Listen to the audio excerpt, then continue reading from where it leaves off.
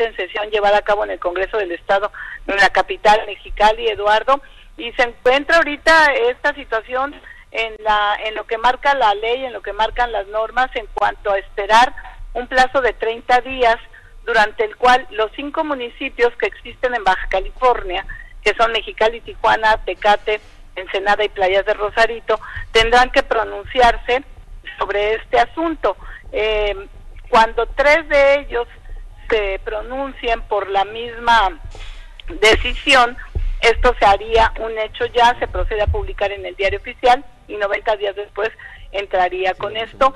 Bueno, pues se eliminaría, se elimina ya de, de hecho, también en el caso de que cinco, los cinco ayuntamientos no se pronunciaran, no hubiera respuesta alguna, también se haría de facto y se procedería de la misma forma publicar en el, en el diario oficial y a, a hacerse vigente ya la eliminación. Pero lo importante de esto es este precedente. Entiendo que con Baja California serían cinco los estados del país que están en esta situación, Eduardo, y el Congreso del Estado también está haciendo llegar al Congreso de la Unión, es decir, a la Cámara de Diputados allá en la capital de la República, pues esta eh, petición de eliminar el fuero constitucional. Recordemos que fuero constitucional, bueno, ahí ustedes estabas ahorita hablando con Rubén, que es abogado justamente, pues es sinónimo de inmunidad constitucional, que hay mucha controversia, sobre todo entre quienes son expertos, personas expertas en, en leyes, pero hay mucha controversia, hay gente a favor, hay gente en,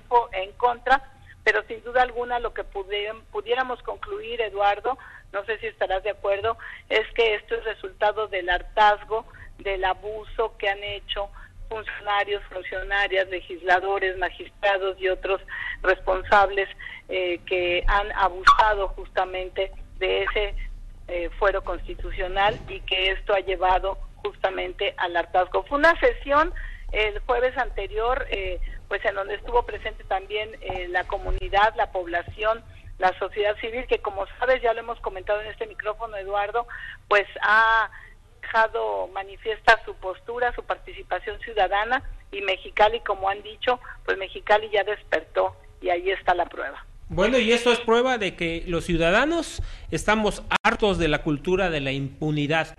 Ojalá que se tomen cartas en el asunto, pero que sin lugar a dudas se respete el precepto constitucional, ¿no? Porque eh, los gobiernos de los estados sí tienen autonomía, sí son independientes, pero la Carta Magna de los mexicanos es la que rige en toda la República Mexicana. Te agradezco mucho, Marta Eugenia Dávila, la información comentar que dos partidos de tiempo atrás, o bueno, representantes de dos partidos, fueron quienes inicialmente, al menos acá en Baja California, promovieron esto, eh, Movimiento Ciudadano, que también ya tiene el antecedente en Jalisco, y un partido local, que es el Partido de Baja California.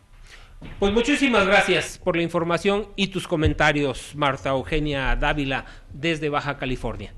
Gracias, Eduardo. Un saludo al auditor. Nos vamos a un corte y regresamos. Sigue escuchando El Punto Crítico. Información